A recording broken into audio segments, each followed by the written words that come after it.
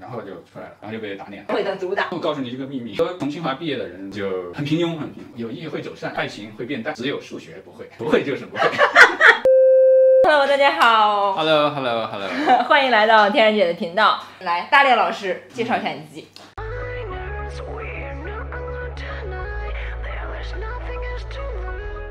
我是一九九五年从贵州省呃考到了清华大学，哇，那时候我才三岁。二零零二年毕业了，然后就在北京工作。二零一六年我们创办了现在这个小麦编程，就专门教小朋友编程序。有没有人想跟天然姐一起学编程的？我们一起找他报个班儿吧，怎么样？对，大人不付钱，但是大人要签灵魂协议。啊，你学什么的？当时我是学精密仪器，是精密仪器我记得你们清华有黑化，精密仪器啊，是修表的。呃对，修表的，还有修锅炉的。我我是在学校的时候就很喜欢计算机，嗯，然后发现我这个机械方面我学不明白，哦为什么呢？因为那个物理知识对我来说太难了，哦，就力学啊这些我就没学太明白。那你咋考上清华的？对，主要靠别的科。报的志愿是建筑系，被调剂的。他们说清华建筑系最好。啊，然后林徽因是吧？对呀、梁 梁思成啊，然后那就报最好的，啊万一弄人了。清华有这个好处，它就是宽口径的培养，就什么课你都要学，什么激光电算都得学的。嗯计算机是本来就应该掌握的，然后发现哎这方面我还比较喜欢。后来读研究生的时候，已经变成一个程序员了。二零零二年是第一次互联网泡沫，破灭之啊年，是的，是的。眼看着上一届毕业的同学拿着高薪，到我们的时候，突然间这些工作岗位都没有了，然后去了一家做电信软件的公司，我们那公司给运营商做宽带的系统，在那里工作了四年。当然也是，我觉得四年的时间能够积累的更多一些，因为四年之后我就没有再去，呃一个像样的公司了，开始游荡开始对自由职业。啊，那时候觉得好像自由特别重要。哦，啊，就把自由的排位排得高了之后，就产生了错误的选择。因为我当自由职业者的那个决策的依据是完全错的。啊，什么依据？就是我们发现公司的销售，他们去接了一个单，四十万的一个项目，我带着我们的小团队，一两个月就能搞定了。嗯，我们才花多少钱就能搞定？然后这些钱为什么都要分给销售，分给老板？一种天真的想法 出现了。对，然后就觉得我自己去干这个事儿用不着四十万，我会非常有竞争力。然后我觉得我羽毛已经丰满了，嗯有啥我我什么都会了，嗯，然后就出来了，然后就然后就被打脸了，就被遭受社会的毒打。对，就被打脸了。不光是关系嗯啊、就是信任度，嗯你一个个人是建立不起来的。嗯，对嗯，人家信任这个公司，他不会跑对，啊。所以你是你是那种厚脸皮的人吗？嗯，脸皮其实开始挺薄的，后来就越来越厚，然后现在特别厚，哎，你觉得这事儿能练？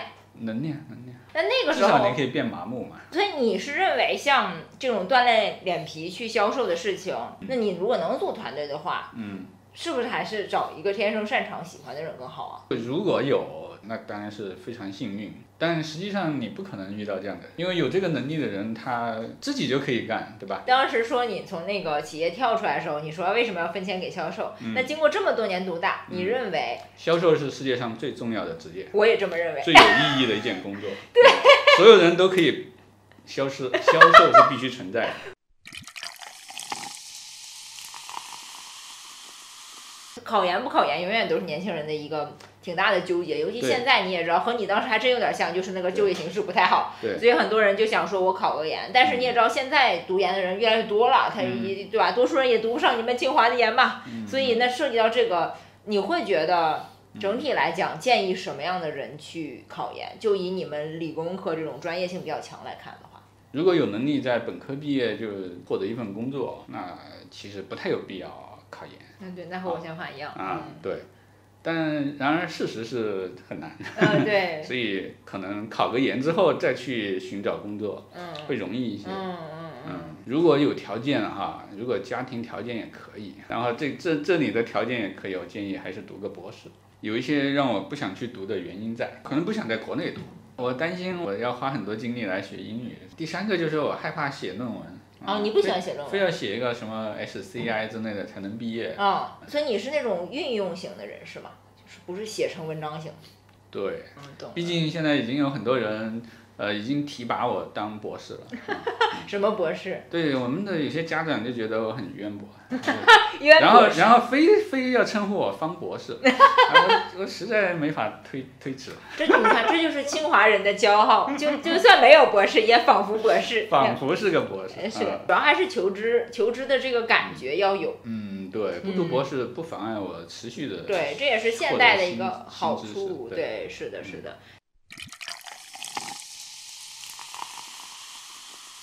如果当时不选择四年就出来，嗯以以一种呃对世界天真的理解方式去单干的话，嗯，你如果能回到那个时间点，你会做什么样不一样的决定？那可能会选择一个大厂，给自己贴一个更好的标签。嗯啊、然后就在大厂接着往下混，那是另外一种选择了嘛。嗯嗯，如果你选择那样的人生，那你就承担那样的不愉快呗。啊，就 有利我觉得那个肯定并不是非常愉快。那你为什么重选会那样选呢？在当时的那个幼稚的那种状态下，嗯，不是这个方向的幼稚，就是那个方向的幼哦稚。哦哦，难道还能有更成熟的选项吗？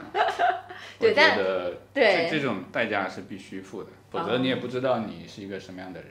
对，这点也是，这是我最近做这个频道的刚刚意识到的一件事情。嗯就我们会分享很多职业经历或者不同人遭遇的坎坷，但我后来发现，当然会给大家一些帮助啊，嗯但是整体来讲，很多人生的坑可能是得自己踩，也不能不可能完全避开。而且直路其实没有什么意思。嗯啊，人生其实就是迂回的，你你的终点不就是躺在病床上吗？啊或者躺在 躺在墓碑里头那。么那个小匣儿才是你永久的家。对呀，是不过我我还是同意你一开始说，就是在很多时候，对于绝大多数人来讲，第一份儿或者第二份儿工作能在一个大厂，还是很有帮助的。对你下一份工作很有帮助。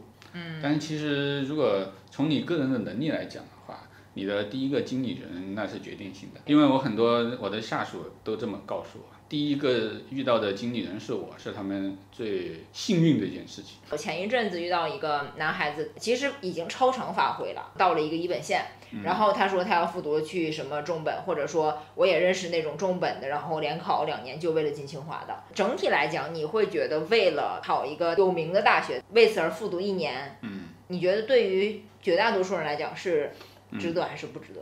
值得。这个家庭毫很大无疑问的值得啊！当然你得考得上啊，考不上就是浪费时间，还不如早点出来被社会毒打。考不上就好好的生活，把这个拼劲一直带着。如果你一直保持这种劲头，嗯，保持四年以上啊，最好能保持二十年，那你的人生和和你这会儿有没有考上清华其实没有太大区别。我相信持续的努力，因为我告诉你这个秘密。因为很多从清华毕业的人就停止了努力，嗯，对，然后就很平庸，很平庸。游荡了几年之后就，就有朋友叫我一块儿入伙，嗯，呃，做游戏工作室，就变成了一个游戏设计师了。就是啊那个游戏做到一定的呃时间之后，就累得不行了。嗯，嗯，就是进入了非常压力非常大的状态，就离开了那个游戏团队，放下工作，然后开着车带着一家三口做了一次环中国的自驾游，几个月吧，呃，一万五千公里啊，中国的大部分地方都走了一下，哇，那时候你孩子还挺小，是不是？三岁，我记得以前在知乎上看过一个问题，一个妈妈说，嗯。啊，我我能不能不让我孩子上幼儿园，就是带他就是环游，嗯。然后我们在底下一众人都都劝阻他，因为绝大多数情况下又不是清华爸爸了，这 就是妈妈跟他娃相处到底是好不好，其实很难说的。在路上就有不停的有朋友打电话，哦。呃，就、嗯我们公司这个研发项目快不行了，快来吧，这个啊来来救救啊，就这种，然后就去给人当救火队。员啊！把一些项目给带上路，然后把它毁灭了，也也认识一些新朋友，挺好玩的。啊。嗯，其实我觉得有些人是挺想在三四十岁能达到这样的一个职业状态的，嗯。但是就像你说，是有人来找你，这东西不太像你能能毛遂自荐的，对，别人怎么知道你的？其实自由职业非常锻炼人，啊自己做的话，你的单兵作战能力会超强。